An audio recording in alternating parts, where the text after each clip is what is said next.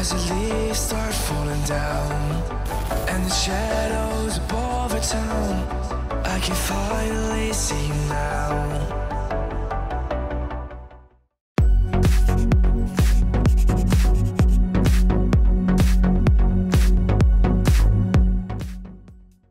Então, meus amores, vamos lá começar pela limpeza da pele com a água micelar da Ruby Rose. Vou utilizar esse hidratante da Cores, que é um hidratante iluminador para a pele, iluminar no sentido de clarear mesmo, tá? Ele faz um tratamento para a pele e eu tô apaixonada por ele. Ele é um hidratante que não deixa a pele oleosa também.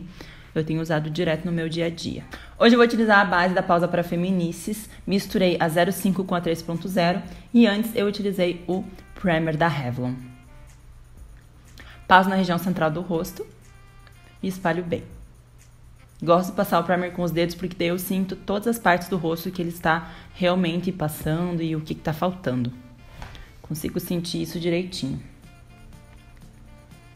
Base então já misturei na paletinha. Eu diluí um pouquinho também com o SOS da Bruna Tavares, tá? Eu acabei não mostrando, mas eu diluí. E aí eu fui fazendo a aplicação em todo o rosto. Tô usando esse pincelzinho aí da Macrelã. Eu acho ele super prático, porque daí você consegue ir fazendo aos pouquinhos a pele e vendo se tá ficando no tom ideal. Olha só, que lindo que ficou o tom da pele, da base no caso. e dá aquele acabamento com a esponjinha, né? Esponjinha da GB Cosmetics, que eu não abro mão. Agora, o tomzinho mais claro do iluminador, eu vou fazer os pontos de iluminação do rosto, abaixo dos olhos. Eu senti que a base, na câmera não dá pra ver tanto, que ela tinha ficado levemente mais pigmentada do que o tom da pele. Então eu já usei esse tom bem claro para harmonizar essa questão. Ele tá misturando com a base, tá iluminando o centro do rosto dela.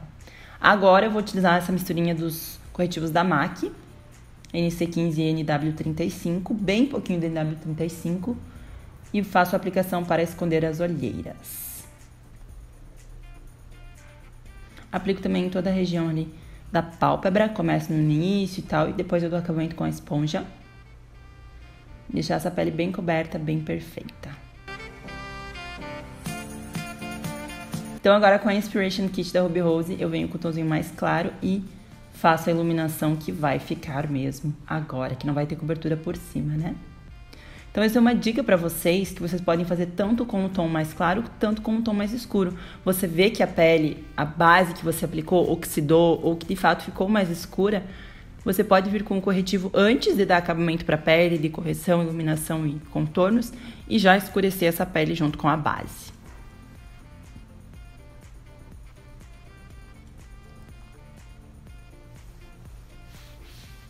Selagem com pozinho da Ana Paula Marçal por todo o rosto. E esse pó eu tô apaixonada nele, gente. Ele é tão perfeito, deixa a pele uma delícia, um veludo. é, acabamento em toda a pele, a selagem completa com o pozinho da MAC. Eu estava com a minha necessaire de produtos limitada, por isso que os produtinhos que eu tô usando, eles ficaram bem parecidos com, os, com o último vídeo. Era a mesma viagem que eu estava fazendo, então eu estava usando os mesmos produtos. Vou utilizar essa paletinha aí da Ruby Rose, a Chick Play. Vou fazer o contorno primeiro de uma forma mais abrangente no rosto, não tão marcada. Por isso que eu tô usando esse pincel grandão. Pra fazer um contorno mais aberto mesmo, tá? No sentido assim, sombreado e, e bronzeadinho. Aí eu faço a correção do nariz também, com pincel menor. Venho com o iluminador da mesma paleta e aplico em toda a pele. Esse iluminador tem um fundo meio rosé, Ficou iluminado com fundinho rosé maravilhoso, bem iluminado, porque ele é bem intenso.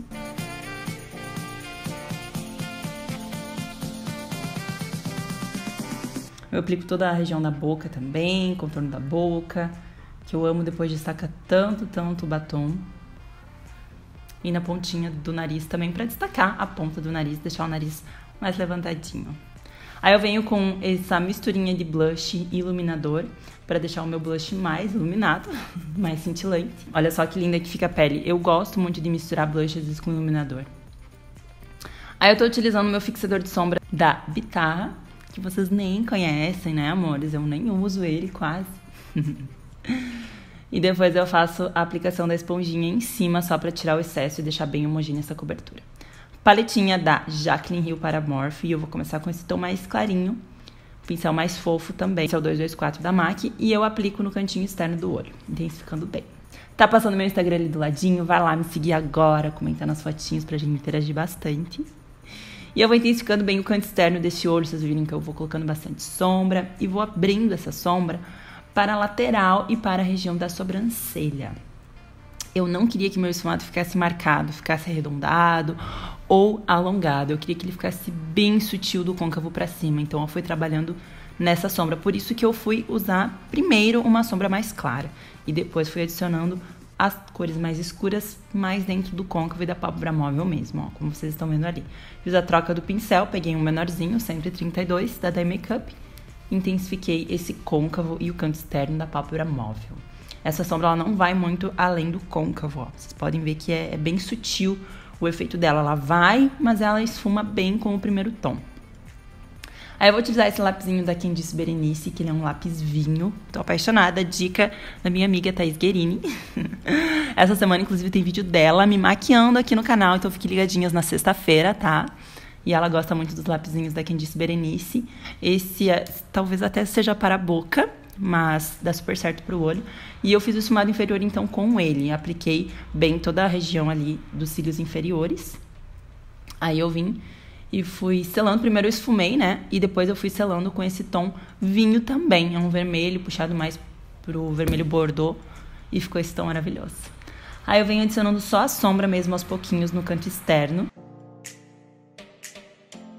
Eu já subo para cima e depois eu venho e faço esfumado no cantinho externo dos olhos.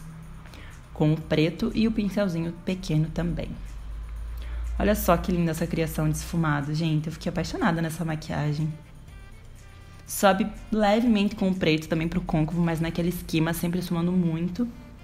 Agora eu tô voltando com um pouquinho de marrom e esfumando esse preto para não deixar ele marcado. E agora vamos para o delineado. Bom, primeiro eu fiz a aplicação do delineado da Eudora, rente aos cílios, é, na verdade na linha d'água superior, para deixar esse olho bem marcado, e depois dentro da linha d'água inferior para destacar esses olhos claros maravilhosos. E aí eu fui esfumando com o pretinho bem rente à raiz dos cílios também, para ficar com um acabamento perfeito. Sombra agora com cintilância da mesma paletinha, eu vim aplicando do canto interno até chegar no esfumado. Essa sombra ela é incrível, ela é um tom iluminador. Depois eu peguei um tom que puxa assim meio pro salmão, tá? E fui fazendo a transição das cores ali. Olha só que maravilhoso que ficou. Aí na sequência eu utilizei um brilho, uma sombrinha com uma asa de borboleta, né? E agora sobrancelha. Batom bem nude, bem cor de boca da Natura. A referência dele vai estar aqui na descrição do vídeo. E aí depois eu fiz um acabamento no colo dela, que eu acho maravilhoso, com esse iluminador da Ana Paula Marçal. Olha só que maravilhosa essa Amanda. Gente, esse é o resultado da maquiagem. Espero muito que vocês tenham gostado. Deixem nos comentários sua opinião. Vai lá no Instagram, vai lá comentar na fotinha que eu postei. Tá bom, meus amores? Um beijo e até o próximo vídeo.